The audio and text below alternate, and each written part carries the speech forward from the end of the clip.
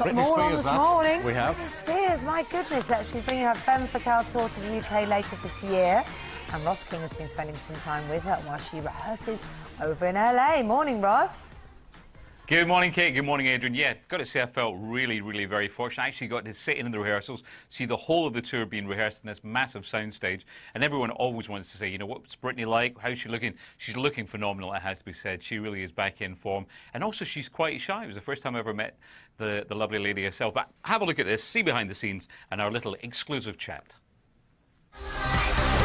Britney Spears has sold over 70 million albums since her debut in 1999. She's about to begin her Femme Fatale World Tour, which arrives in the UK in October. We caught up with her at rehearsals. Britney, so great to see you. My mum and dad in Scotland will be so proud of me. I'm on stage with Britney Spears. Oh my goodness. Finally made it. Thank you. So now, we can't wait for the tour. So come on, what, what can we expect? There's a lot of surprises in the show. Um, you definitely get a show when you come to see this. It's probably one of the most impactful, entertaining shows I've ever done. So I'm so excited about it.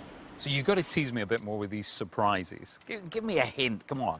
Well, the costumes are just very elaborate and so different and shocking. And um, I think the show is just more me than any show I've ever done. It's just, it's a lot of fun. I mean, it's so phenomenal and so big. Uh, Have you actually missed being on the road? Yes, I have actually. It's a lifestyle. It's a way of life, definitely. It can be kind of grueling sometimes, but for the most part, it's it's a lot of fun. You know, you're somewhere different every day, and you never know what to expect, and it's just it's a lot of fun. Kind of like a gypsy, you just Yeah. I like it. You are looking in sensational shape, if I may say so. well, thank you. So come on, give us, women at home, because it's funny, whenever you meet anybody famous, everyone never says, you know, how, what were they like? It's always like, how did they look? Build a secret. Well, I guess just doing rehearsals every day um, are really grueling, and you know, keep you in shape, definitely. And um, I just eat really clean as well, you know, just to, you know, keep that. So.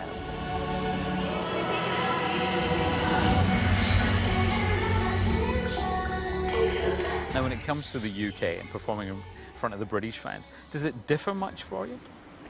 Um, there is a sense of, um, you know, the fans are a little different, you know, but they're always very respectful and very appreciative. And just, you know, um, my fans in London have always been amazing.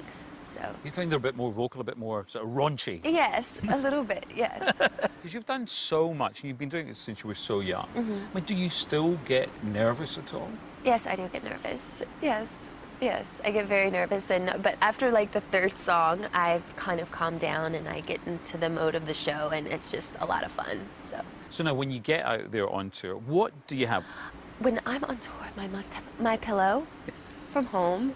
I have to have my pillow, and A fluffy pillow. A fluffy pillow, yes. And I love shabby chic, so I like to have all my dressing rooms and my bus done with shabby chic, so because that's what my house is done out of. So I have the same feel as my home. Well, we cannot wait to see the tour in the UK. Thank you so much for taking the time Thank to chat you. today, Bray. It's Thank lovely you. to see you, Britney. You too.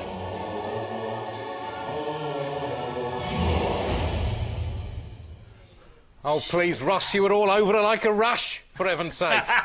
When's, uh, when's Like she a coming, duvet. When's she coming over then? Uh, it's coming over October, October the 25th. He's in Belfast, 27th London at the O2, 30th in Birmingham, and then November the 6th at Manchester. So, uh, and I said it's a great show. I was lucky. I mean, I really, you know, I love what I do, but I mean, when you're sitting there, you know, I'm a kid from Glasgow. I'm sitting there watching this whole tour unfold before me, the whole stage show. So it was just a great moment. We don't blame you. We were agog as well. Thanks very much indeed, Ross. That's fantastic. You know, you can take a flick through uh, pictures of Britney's rise to fame by logging onto our website, itv.com forward slash daybreak. It'd be great to have her over here performing. Kirsty back today. Andrew McConnell's already got a complaint. You didn't tell me it was going to rain during my paper round. Hopeless, Kirsty. Oh,